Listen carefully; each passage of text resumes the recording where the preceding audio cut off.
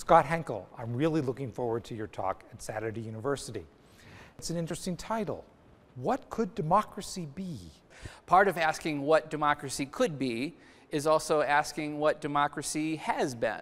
So, what has democracy been in ancient Athens?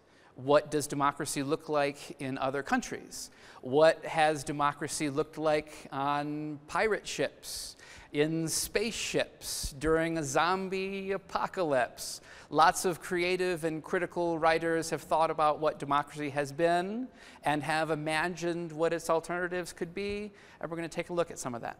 Our word democracy comes from the Greek, and it suggests a situation where a demos, which means people, have kratos, which means power, rule, or authority.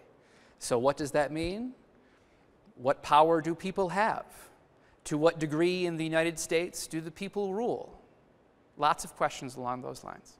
I expect a political scientist to be talking about this, but you come from a literature background. Part of the history of the United States has been thinking about who counts as people.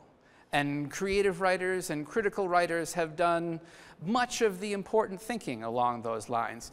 Poets have thought about it, philosophers have thought about it, historians have thought about it, political scientists have thought about it. And I should say, thinking about what democracy could be, I don't have a single answer, but I think that question is worth asking from a lot of different perspectives.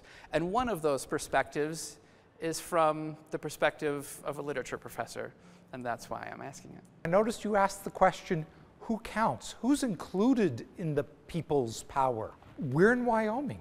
We were the first major international polity to, to have women voting, participating in uh, elections, participating in judicial affairs.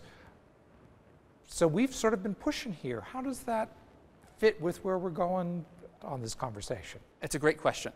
Uh, in United States history, the question of who gets included in a democracy, who is excluded in a democracy, has been one of the most important questions that we have.